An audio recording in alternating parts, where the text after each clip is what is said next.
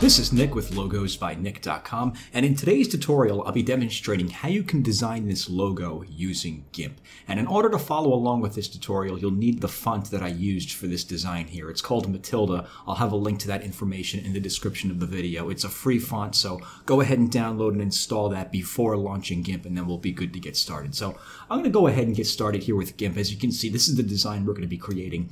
Now I generally don't recommend creating logos with raster graphic applications like GIMP and Photoshop. A logo should really be made with vectors using a vector graphics application like Inkscape or Illustrator. However, if GIMP is what you're most comfortable with and you just need a basic logo that you're going to use maybe just on the web or on a website or something like that or for your applications, you can get away with using GIMP to make your logo as long as you make it at like a really large size. So I'd recommend making it at at least 1920 by 1920 pixels, but the larger the better. So uh, because you know from there you could always scale it down to your needed size. It's harder to scale it up than it is to scale it down. So uh, I think 1920 by 1920 is a good starting point. So I'm going to go ahead and open up a new document here.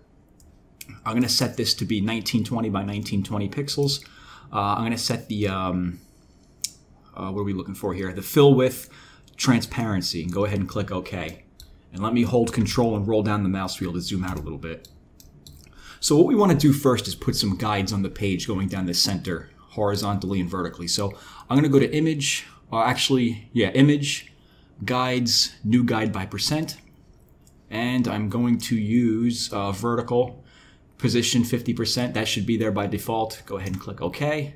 Then we'll do the same thing again, image, guides, new guide by percent, and we want this one to be horizontal. Go ahead and click OK.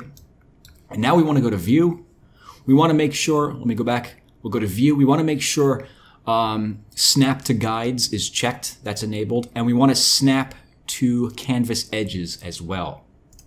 So go ahead and click that. And up here, by default, we're going to have black as the foreground color and white as the background color. I'm going to keep that, but I'm just going to change the black to like a like an off shade of black, maybe like a very, very dark gray. I like to use 1A, 1A, 1A, uh, which is the HTML notation. Go ahead and click OK. And that's going to be kind of like, if you look at this, it's kind of like, it's not exactly black. It's like a, it's almost like a, like a dull, dark gray. I just like that shade. So um, we'll use that. So what I'm going to do first is I'm going to grab the circles tool, uh, actually the ellipse select tool, and I'm going to bring the cursor towards the center of the page here, and then just click and drag to create to start creating a circle. Then hold Control and Shift, and it's going to create a perfectly symmetrical round circle coming from the inside to the outside of the edge of the page. And once it gets to the border of the page right there, just go ahead and snap it like that. Let it snap, and then go to Edit, Fill with Background Color. And now we can go to select none. And now we have the outer white backdrop like that. Okay, so simple enough. So what I'm going to do next is I'm going to create a new layer. I'm going to uh, click this button right here that says create a new layer and edit to the image. Uh, we're going to use transparency. Go ahead and click OK. And again, we're going to do the same thing, but just make the circle a little smaller. Just click and drag, hold Control and Shift. And I'm going to make this maybe, uh, like I said, a little smaller, maybe about that big.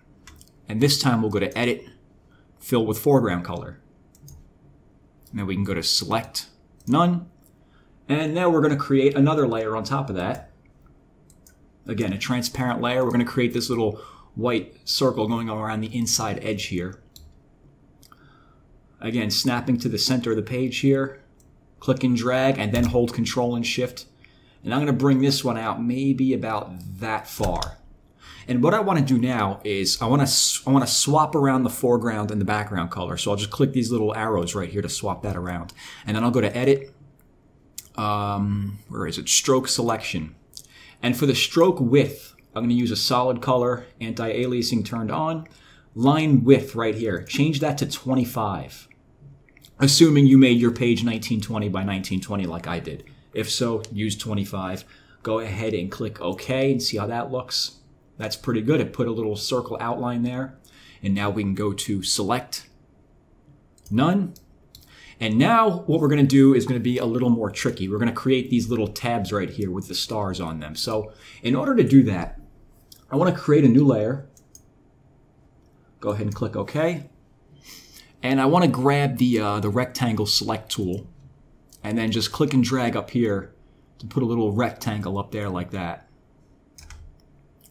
Right above the top of that circle there. It doesn't have to be exactly on the center of the page or any specific size or width or whatever. Just an estimate like that. That's pretty good. And once we've done that, I'm going to turn off the visibility of these bottom three layers down here. So we're just going to be working with this top one up here that we just created.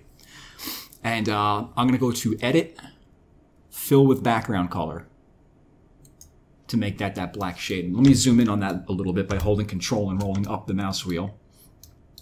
And what I want to do is let's go to Select None, and let's go to Layer, uh, Auto Crop Layer. And that's going to make the layer the same size of that object there. And I'm going to grab the Alignment tool uh, right here. And where it says Relative to, I want to select Image, and then click on that object right there and just center it up on the uh, on the vertical axis right there like that. If you notice, you can change the position on the page. I want it in the center like that.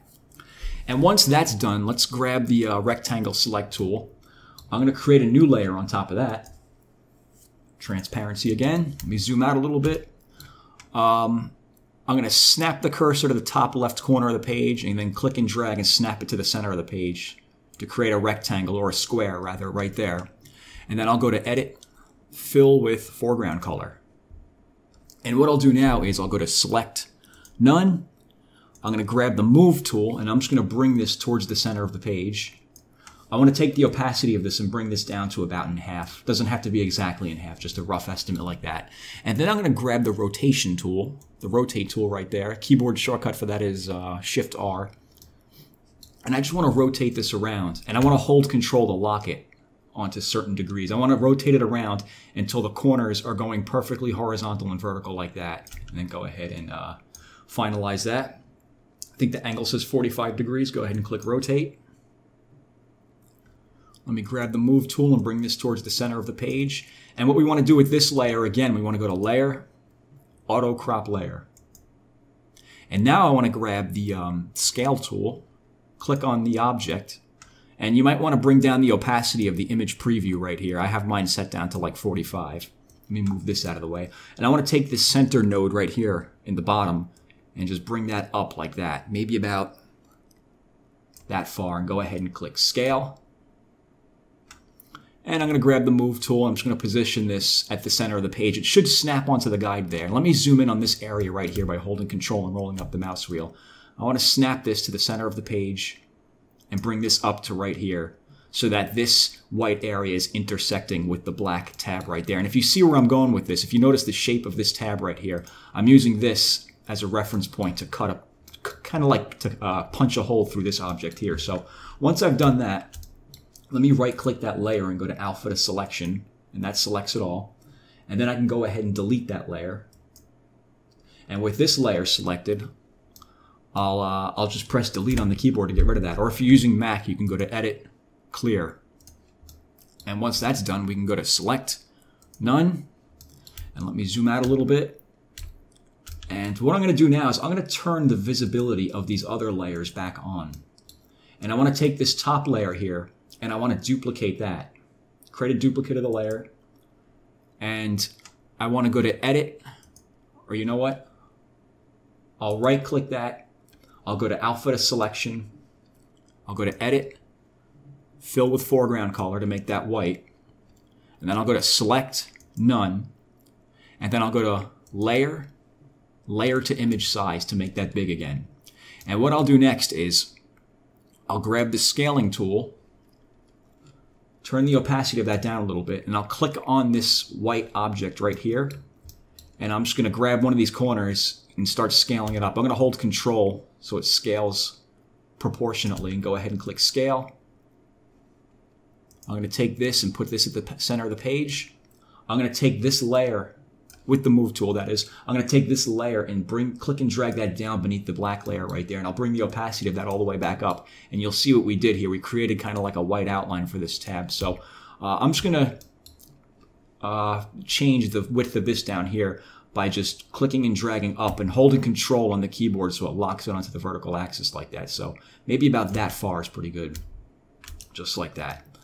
And uh, the final step for this little tab here would be to create a little star. So to do that, I'll grab the brush tool And uh, for the brush, there should be um, like a little star brush with uh, that comes default in your GIMP installation. And I want to make the size of this 120. And then again, I'll just snap this over here to this center guide and I'll just, uh, actually, you know what? Let's click on this top layer and put a new layer on here first. Transparency, and then we'll put this onto the new layer, just like that. And what I want to do now is right click that layer and go to merge down and then right click that layer and go to merge down. So everything on that little tab should be on its own dedicated layer now. And once that's done, I want to go to layer, uh, layer to image size. Let me zoom out a little bit. And I want to put another one down here as well. So, but instead of, uh, I mean, instead of creating it all over again, we could just duplicate it and flip it vertically. So I'm going to take this layer and I'm going to create a duplicate of it. And I'll grab the, uh, the, uh, the flip tool, choose vertical, from this selection right here, and then just go ahead and click on that, and it should flip it vertically. Uh, vertically. And now you can right click that top layer and go to merge down so that both of those little tabs there are on their own dedicated layer. And the final step for this segment right here would be to cut out this area that's protruding outside of the circle. Because if you notice on the original logo, it's confined within the circle there. So in order to do that, uh, let me zoom out. What I'm going to do is I'm going to click on our original layer down here, this white circle, the background layer, and I'll right click that and go to alpha to selection. So it creates a selection going around that circle. And then I'll go to select, invert, and then I'll click on this layer up here and then just press delete on the keyboard. Or if you're using Mac, like I said, just go to edit clear. Then select none. If we zoom in, we see it got rid of that area that was protruding out from the circle. So that pretty much does it for the logo portion of the design. Now we just have to add our text. So uh, what I'm going to do is I'm going to get rid of these page guides. I'm going to go to view where it says show guides. We can turn that off. That'll just get in our way um, moving forward. And I'll grab the text tool. And like I mentioned at the beginning, the font I'm using, you can choose it from this drop down right here, is called Mattilda. The size I'm using is 846. You might want to use a smaller font if the, if the word you're using has more letters or a bigger size if it's using less letters, but I'm just using this right here. Go ahead and click on the canvas and I'm just going to write for the sake of this tutorial, I'm going to write logo. And again, you could change the size over here. If you're using more letters, you might want to shrink it down. Or if you're just using like three letters or something, you might want to make it bigger. But I'm just going to leave that as it is. I'll grab the move tool and I'm just going to, oops, grab the wrong thing grab the move tool and just put the text towards the center of the page like that. And there you pretty much have it. You have your logo created with GIMP. Now, if you want to save this you can go back and edit it further, uh, you know, down the road, you can go to File, Save As, and save it as a .xcf file, which is a native GIMP file. And if you're done with it, if you'd like to use this logo with a transparent background, you could just go to File, Export, and choose .png, export it as a .png with uh, alpha channels with a, with a transparent uh, transparent background like that. And that should pretty much do it for this tutorial. That's how you can create uh, this simple logo design using GIMP. So if you have any questions, let me know. And as always, thanks for watching.